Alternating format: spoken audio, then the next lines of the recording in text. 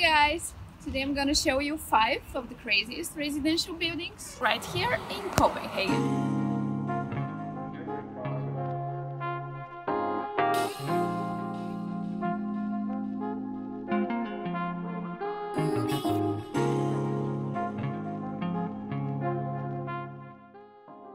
I'll start with one of the most iconic buildings in Copenhagen and one of Big's earlier projects along with JDS. It's called Mountain Dwellings and it's located in one of the newer neighborhoods in the city. It can be very easily recognized by the huge mountain perforated on the aluminium facade.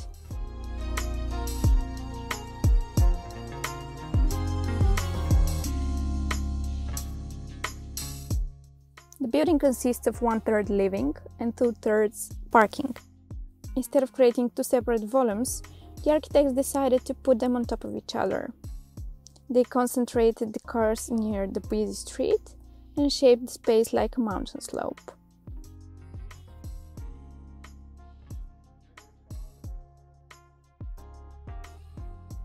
The whole parking is wrapped up in this perforated aluminium, which allows for natural light and ventilation to get in.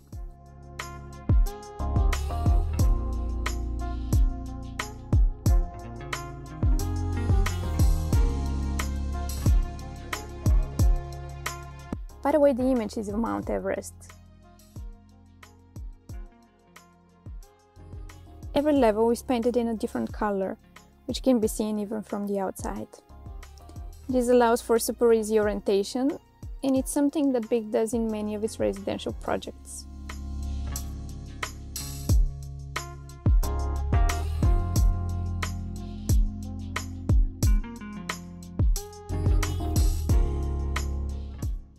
It's also a huge part of the interior, and every corridor has its own specific color.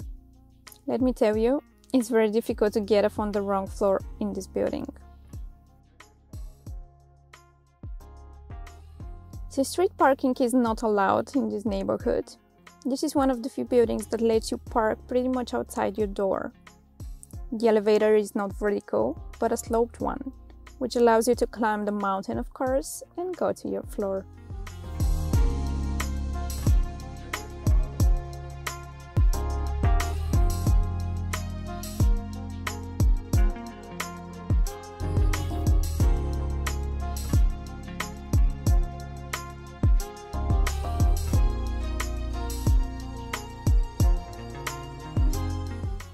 But wait, I haven't shown you the biggest surprise yet.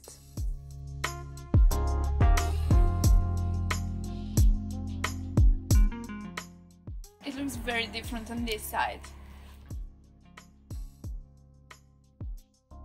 These facades are pretty much the opposite of the other two.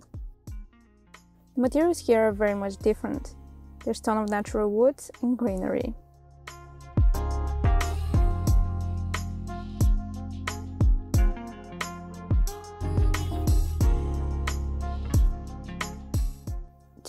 The best part of all is the apartments.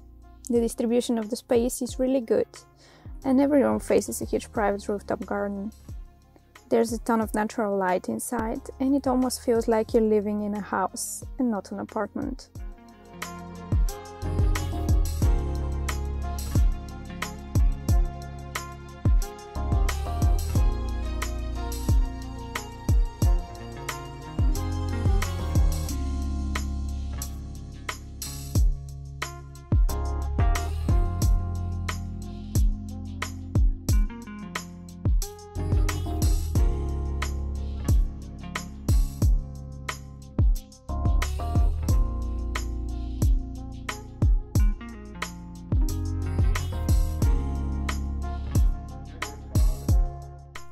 We don't have to travel far for our next building, because it's right next door.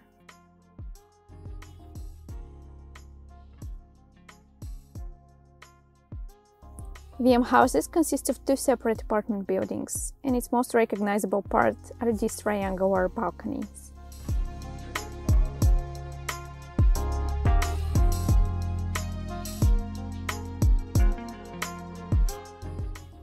By the way, this was the cover of my residential buildings textbook back in university.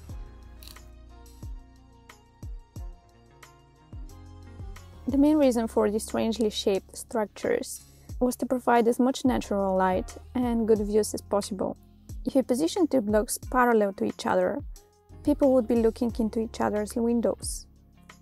If you break them up a little bit, like a V and an M, then you no longer have this issue.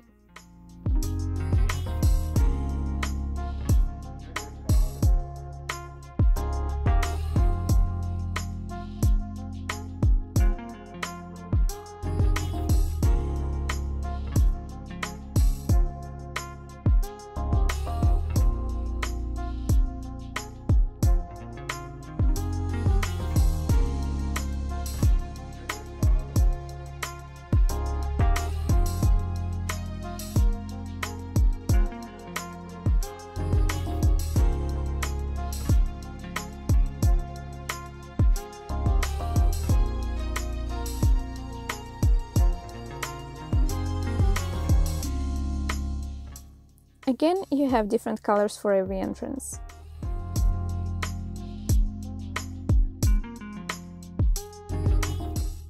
In the building there are over 80 unique types of apartments, most of which have two floors. Although this approach creates a great variety of homes to choose from, it can result in long and narrow apartments, with tight living rooms and some wasted space around the stairs.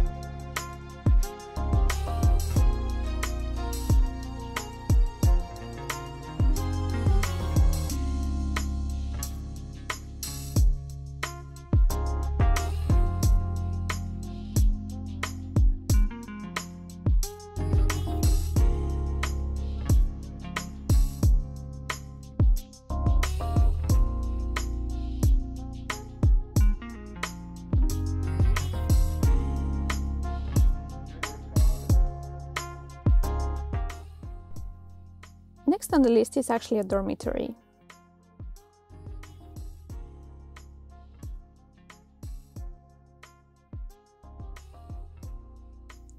It's a very interesting structure with an inner courtyard buzzing with life. Seen from the top, the building itself is a complete circle, which was then pierced to create five different sections and allow movement between the courtyard and the surrounding area. Each section consists of 12 residences on each floor. The private rooms face the outside of the building, while corridors, common areas, and shared kitchens face the courtyard. This way of providing both privacy and shared sense of community without sacrificing one for the other is what makes this building so special.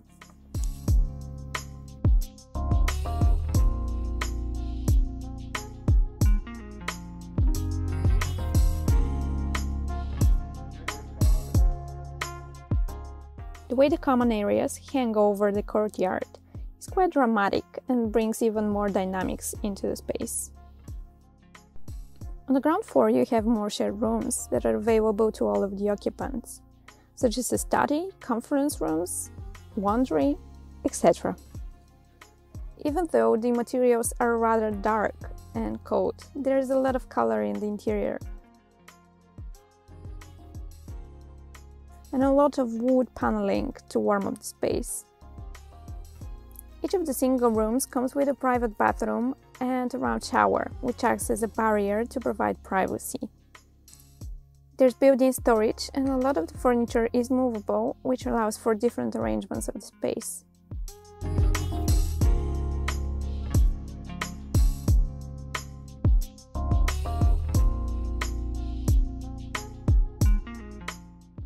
Our next stop is another dorm, but this one is made of shipping containers and is floating in the water.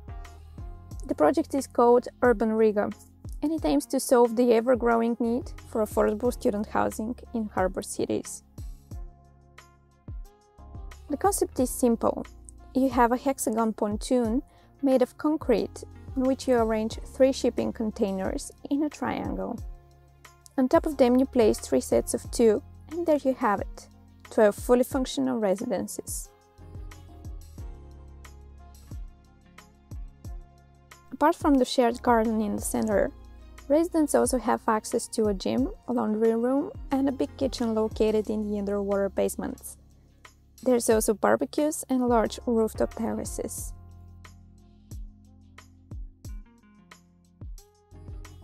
Each urban rigger is painted in a different color and is given a name. There's two different types of apartments, depending whether it is located in a single or double container. Every apartment has its own private bathroom and a compact but rather nice kitchen. So far, there are six urban riggers in Copenhagen, but there are already plans to expand to places like Hamburg, Rotterdam, and San Francisco.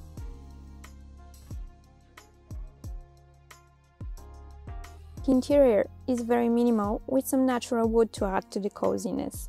If you want to see more, I'll leave a link in the description down below of what it's really like to live in one of these shipping containers. Surprisingly, these crazy buildings are only a few minutes away from the city center, by boat, of course.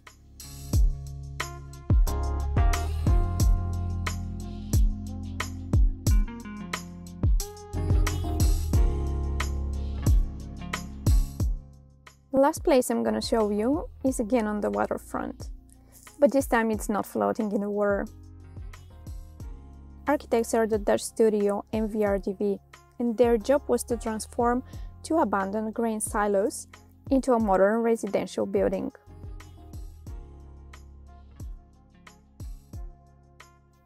The first thing that comes to mind is to position the apartments inside the existing structures, right?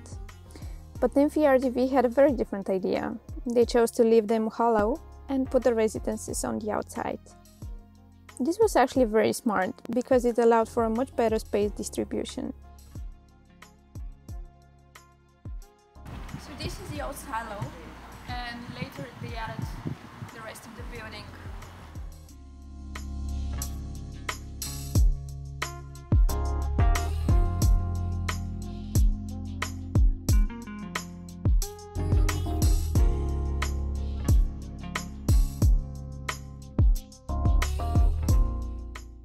Favorite part of this building, however, is inside these old silos. Are you ready? How cool is this staircase? It looks like something out of a sci fi movie. And it's no wonder that Instagrammers love to sneak inside. For the record, they actually installed CCTV cameras, so please don't go inside without an invitation. The inside of these apartments is slightly curved, and each one has a huge terrace. I can only imagine how nice the views towards the waterfront might be.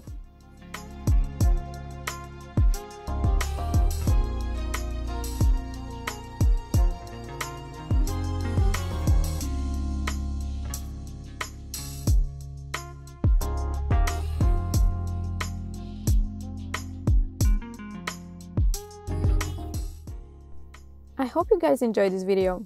Let me know in the comments which was your favorite of the 5 residential buildings I showed you. And don't forget to subscribe for more videos like this.